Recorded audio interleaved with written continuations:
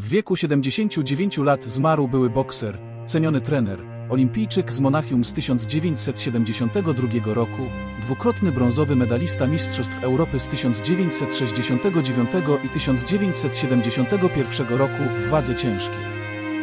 Ludwik Denderis